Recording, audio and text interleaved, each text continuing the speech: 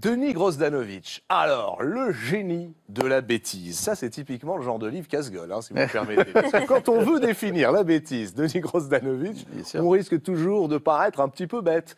Euh, Qu'est-ce que c'est Bien, précisément, euh, j'avais très peur en venant ici parce que. ah oui, a- vous êtes le dernier, alors C'est attention. pour C'est pour ça que, oui, euh, vous m'avez demandé tout à l'heure, parce que là, j'ai amené un petit pense-bête.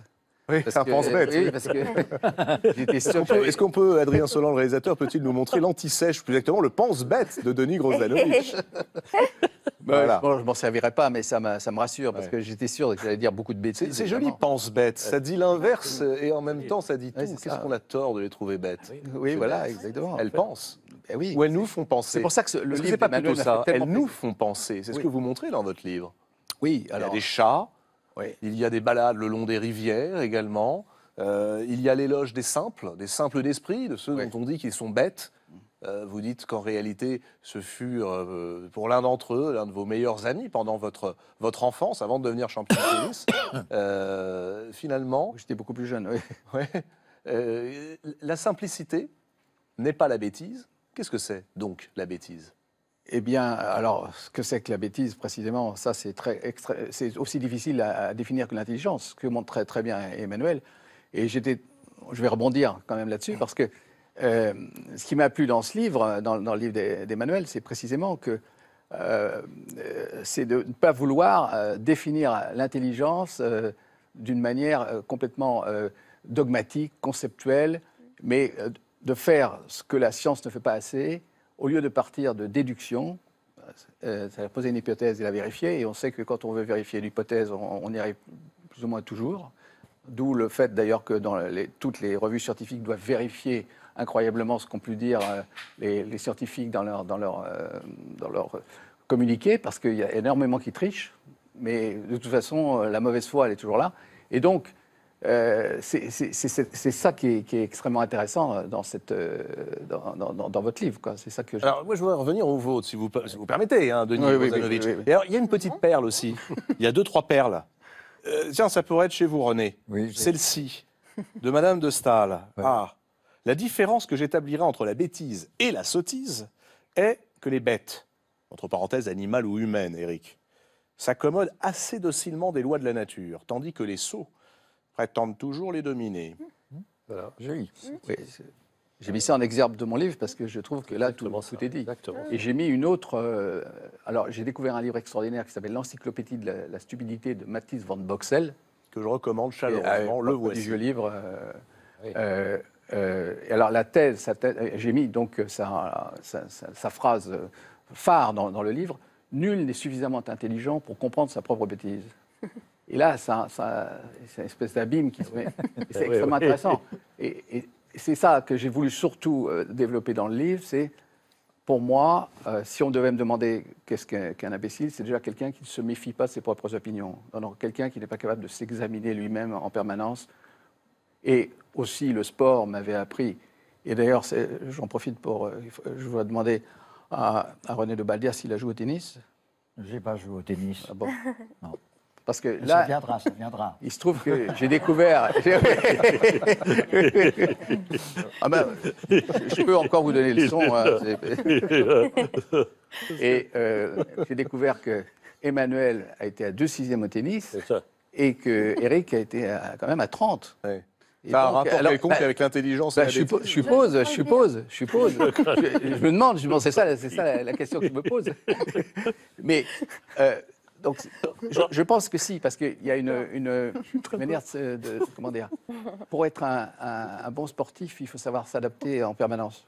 Donc on revient à l'adaptation, hein, à Voilà. l'innovation Ah oui, et à l'adaptation. Voilà, oui. voilà. Et alors, euh, euh, vous confessez, Denis Grozanovic, dans ce livre, parce que c'est un livre autobiographique aussi, hein, vous racontez euh, vos propres tribulations au, au pays de la bêtise, et puis euh, parfois vous vous étonnez de la bêtise euh, qu'on vous reproche, mais que pas si bête que ça.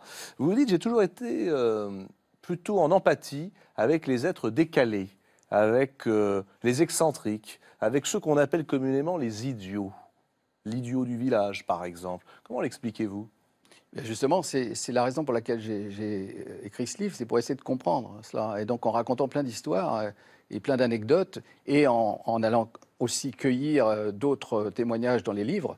Alors évidemment, dont, dont Bouvard et Picuchet est le, le- le principal, et ensuite aussi euh, euh, L'idiot de la famille de Sartre, qui est la continuation en quelque sorte de, de Bouvard et Picuchet, il faut le savoir. C'est le dernier livre qu'il a écrit, qui est ach- inachevé aussi, comme, Bouvard et Picuchet. alors là, là, vous vous attaquez à une autre forme de bêtise. Vous dites c'est la bêtise des gens savants. Oui.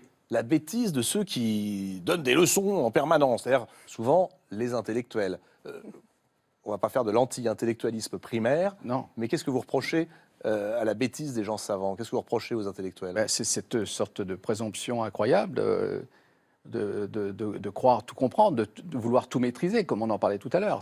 Alors qu'en en vérité, euh, justement, ça c'est le sport qui me l'a appris aussi, c'est que la forme physique, c'est quelque chose d'extrêmement intermittent, mais il m'a semblé aussi que la forme mentale l'était. On peut être, et je vais sans doute en faire la preuve, extrêmement brillant au début d'un- discours et extrêmement stupide à la fin. Euh, Dans le même discours, on peut d'un seul coup euh, s'écrouler. Et, et alors, euh, au cours évidemment du- même d'une œuvre ou d'une vie, c'est complètement évident. Et on, on, on agéographie nos grands intellectuels, on, on- on en fait des, des espèces de saints de notre panthéon. Mais en, en réalité, euh, comme l'a dit Sartre, d'ailleurs c'est une, une des en- phrases qui qui est un intellectuel quand même. Oui, Vous en mais- sauvez un ou deux. Oui, Ouais. mais comme le dit Sartre dans L'idiot de la famille, tout homme est bête à ses heures comme tout homme est mortel. Et ça, euh, surtout à une époque comme la nôtre, et on, on peut le voir en ce moment avec les, les- les élections, euh, je veux dire, il- là, il y a- il y a une espèce de... On a l'impression que ces gens-là parlent d'or sans cesse. Donc ça veut dire qu'il je vaut mieux je m'en prends surtout aux non experts. pas dénoncer euh, la bêtise, mais la montrer euh, plus du côté de Feydeau, dites-vous, de Ah oui. Labiche, euh, de Courteline, de Molière, de La Fontaine, qui ne prétendent pas théoriser, mais qui montrent, qui donnent des personnages, Alors là, qui incarnent la bêtise. Voilà, j'appelle ça la sympathie avec la bêtise, oui. Parce que pour moi, le, thé- le grand théâtre comique euh, ne peut pas exister sans cette euh, opposition euh, permanente entre l'intelligence et la bêtise, parce que euh, la bêtise sert de faire valoir l'intelligence. Et dans, dans le théâtre européen, alors à commencer par Molière, et finalement, mon livre n'est jamais que la continuation du, du dialogue entre Clitandre et Trissotin, Trissotin dont on a- qui est un emblème de, de- de- de la sottise, justement. Et euh, Clitandre, à un moment, lui explique que les sots savants sont bien plus dommageables à l'humanité que les, les sots ignorants. Et, et donc, Molière l'avait déjà vu. Et alors, ça continue ensuite avec Marivaux, Goldoni, euh, merveilleux. Et puis, le théâtre. et alors, Feydeau. C'est votre répertoire, hein, ça, Georges Ah, Escalier. ça. Ouais, j'ai Oui. j'ai traversé. Et Feydeau, euh, et. Feydeau, qui est un, génie aussi, qui est un peu méconnu parce qu'on pense que c'est seulement du, du vaudeville, mais Feydeau, c'est beaucoup plus, beaucoup plus profond qu'on pourrait le penser. euh, une Et de avec- lég- oui, Et, et avec le duo toujours formidable entre le valet et le maître. voilà, Lequel, Mm. avec cette phrase de l'enfance qui est merveilleuse, c'est euh, celui qui dit qu'il est. voilà, Qui est exactement. le résumé du valet et du Exactement, maître, comme exactement. ça. Et, ça, et la, la bêtise, c'est ça, c'est, la mort, quoi. Et alors, ce qui était frappant chez Sartre, dans L'idée de la famille, c'est qu'il disait à un moment donné, et puis après, il s'est rendu compte que c'était impossible. D'ailleurs, il n'a pas fini son livre, mais c'est maintenant, avec toutes les sciences humaines qui sont à notre disposition, on va pouvoir savoir qui est un homme. Ouais. Eh bien, on ne le sait pas. Ben non, heureusement. ben non. Mais c'est marrant, c'est cette sorte d'ambition folle de savoir. Ça y est, on va le cerner. Et Non, mais, et vous avez un peu la même tout de même, Eric. Vous avez envie de savoir. vous. non, mais c'est que ça, ça n'arrête pas. C'est plus, plus, plus je sais, moins je sais. C'est ça qui est Oui, mais formidable. vous, vous le savez. C'est fort, mais je sais rien du tout. Vous Je savez sais que je vous sais savez pas. Ah, je sais que je sais pas. Alors, Voilà, plus ça va, moins je Et sais. euh, dans le livre de Denis Grozanovic, il y a euh, donc euh, les intellectuels à qui on fait un sort. Ça, c'est bon, on va pas y revenir. Il y a 200 pages pour leur taper dessus, et c'est plutôt bien joué. Euh, joli service également, avec un ace, pour réhabiliter les moralistes. Vous dites, on en manque un peu. Ah oui. Mais alors, attention, le moraliste n'est pas le moralisateur. On pense donc au moraliste, pour vous, c'est qui? C'est Montaigne? Ah, avant tout, Montaigne, qui est mon, li- mon livre de chevet, enfin les essais. Voltaire? Euh, Voltaire, euh, un peu moins. Diderot? Euh, Diderot, oui, mais surtout, euh, comment dire, oui, Montaigne, et puis ensuite euh, La Bruyère. surtout la Bruyère. Ah oui. Pour moi, la Bruyère. Et, et Vauvenargues, euh, et surtout, là, je cite un moment l'introduction à la connaissance de l'esprit humain. Et euh, je voulais juste, euh, c'est pour ça que j'ai ramené un petit pense-bête, faire une toute petite lecture. Ah mais oui Euh, voilà. On va voir si vous pouvez Donc intégrer là, aussi la, la comédie française.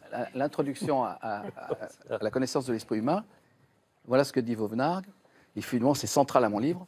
Ceux qui ne peuvent rendre raison des variétés de l'esprit humain y supposent des contrariétés inexplicables. Ils s'étonnent qu'un homme qui est vif ne soit pas pénétrant, que celui qui raisonne avec justesse manque de jugement dans sa conduite, qu'un autre qui parle nettement ait l'esprit faux, etc. Ce qui fait qu'ils ont tant de peine à concilier ces prétendues bizarreries, c'est qu'ils confondent les qualités du caractère avec celles de l'esprit, et qu'il rapporte au raisonnement des effets qui appartiennent aux passions. Il ne, repar- il ne remarque pas qu'un esprit juste qui fait une faute ne la fait quelquefois que pour satisfaire une passion et non par défaut de lumière.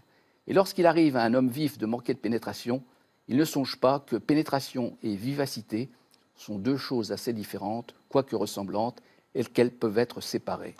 Ah, pénétration et vivacité. Mais euh, il va plus Pardon, loin, je- Vauvenard, parce qu'il il distingue exactement 32 formes d'intelligence. Et nous, on en est arrivé au point de dire, euh, oui, euh, lui c'est un con, euh, lui, lui c'est une, tronche, comme on dit, euh, c'est une lumière.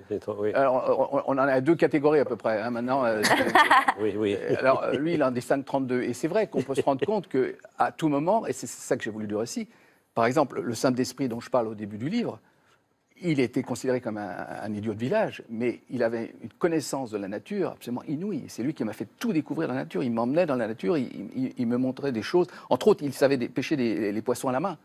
Euh, ce qui est- parce qu'il a une telle sensation, on avait l'impression que les, les poissons étaient reliés à lui, et hop, il est. Donc euh, voilà, une, une intelligence. euh, Une autre forme d'intelligence, hein, c'est ce qu'on a vu tout à l'heure avec vous. motrice, on pourrait dire. Certains motrice, certains parlent de ça, oui, intelligence sûr, motrice, oui. Voilà, il y a plein de choses euh, qui sont des promenades aussi dans la vie de Denis Grosdanovic, mais aussi des invitations à aller en dehors des sentiers battus du côté de chez Vauvenargues, du côté de chez Montaigne, pas forcément d'ailleurs le plus connu, du côté euh, de ah bah oui la Bruyère, et puis on rajouterait Mais bien du côté de chez Obaldia, veux- du côté de chez René. Oui, et je voulais aussi dire que Montaigne, il faut le savoir, on- on, euh, surtout dans l'apologie de Raymond Sebon, est le grand défenseur de l'intelligence animale, Tout à fait, bien sûr. Qu'il appelle le beau savoir. bien sûr, le de savoir. Euh, Montaigne. Ah oui, oui, bien sûr. Montaigne est Oui, le grand défenseur Oui, des animaux, mais c'est un point inouï. Ouais. Et d'ailleurs, j'ai découvert que Lévi-Strauss, qui l'était aussi, était un grand lecteur de Montaigne. Ah oui. Le génie de la bêtise, c'est aux éditions Grasset, sous la signature donc de Denis Grosdanovic.